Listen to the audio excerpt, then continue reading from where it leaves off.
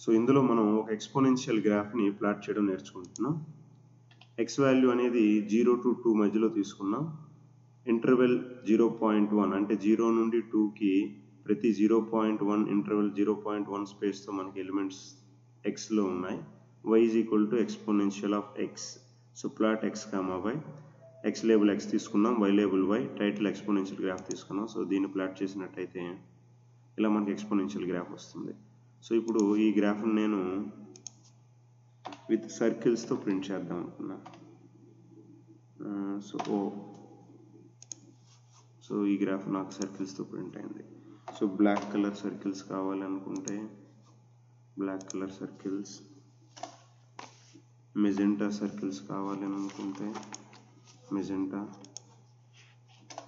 Cyan circles కావాలనుకుంటే cyan circles red colour circles కావాలనుకుంటే నా red green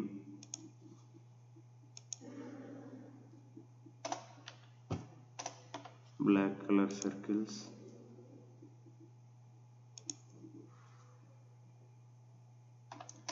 అలాగే బ్లాక్ కలర్ ప్లస్ మార్క్ నా బ్లాక్ కలర్ స్టార్స్.